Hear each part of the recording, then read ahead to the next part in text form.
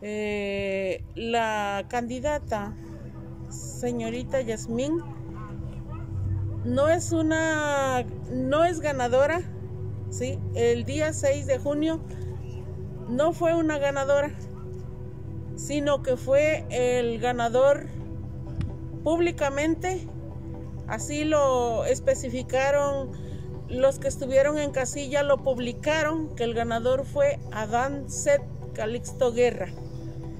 Así que el municipio, en el municipio de Ahuehuetitla siempre se ha respetado eh, el ganador de acuerdo a la elección del 6 de junio.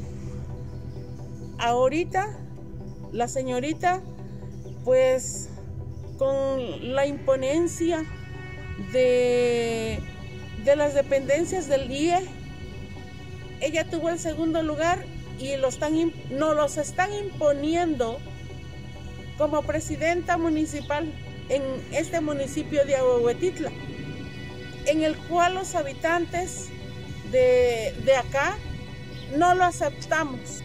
Pedimos y exigimos a la vez que nos respeten nuestra democracia, nuestra soberanía.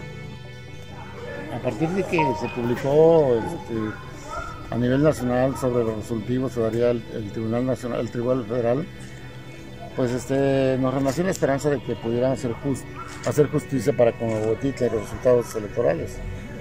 Sin embargo, tristemente, el día de ayer, después de dos horas que empezó la sesión, pues nos comunican nuestros contactos allá, un abogado, que tristemente la respuesta es negativa a los intereses de nuestro pueblo.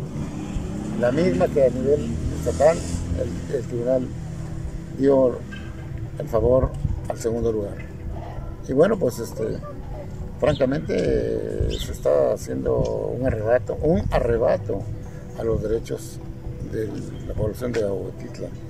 Porque finalmente los pobladores de Ahuetitla son los menos culpables de las barbaridades, de los errores del INE y del IE.